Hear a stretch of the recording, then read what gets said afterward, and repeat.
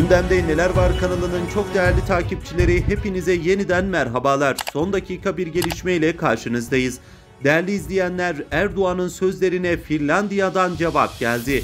Finlandiya Cumhurbaşkanı Sauli Niinistö, Cumhurbaşkanı Recep Tayyip Erdoğan'ın Finlandiya ve İsveç'in NATO üyeliğini veto eden sözlerine ilişkin açıklama yaptı.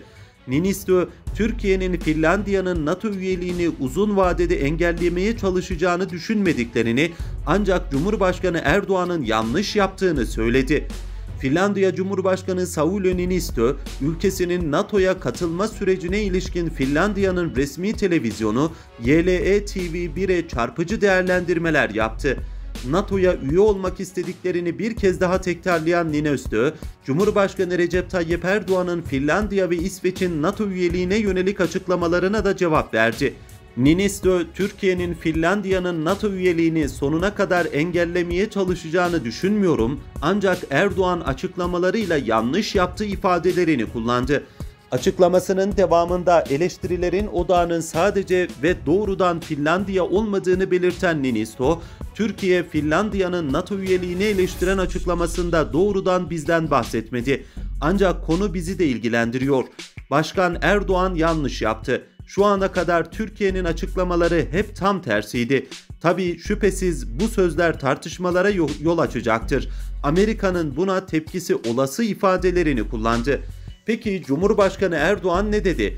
İsveç ve Finlandiya'nın olası NATO üyeliğine sıcak bakmadıklarını vurgulayan Erdoğan şunları söyledi. Biz şu ana kadar İsveç ve Finlandiya ile ilgili gelişmeleri takip ediyoruz ama olumlu bir düşünce içerisinde değiliz. Çünkü daha önce Yunanistan'la ilgili NATO konusunda bir yanlış yaptılar. Bizden önceki yönetimler ve Yunanistan'ın Türkiye'ye karşı NATO'yu da arkasına alarak takındığı tavrı biliyorsunuz.